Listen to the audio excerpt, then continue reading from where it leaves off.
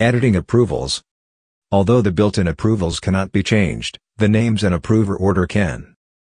To edit the approval settings, click the Approvals submenu under the Administration main menu. All of the built-in approvals are listed, and the names can be edited if necessary. The approval order can also be changed to either approve in any order, or approve in sequence.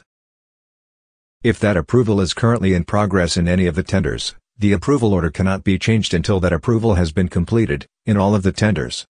Now when we expand the rules section in a tender, the approval name has been changed. Open the approval list window, and add all of the approvers. Click on a name and use the arrow keys at the bottom of the approver list to rearrange the order. The list can be rearranged even after the approval has been started. The person who is first in the list can then log in and complete their approval, then the next approver in the list, until the approval is complete. The approval order will show for the user while approving the tender. If the approval settings are set to any order, then everyone is able to approve at the same time.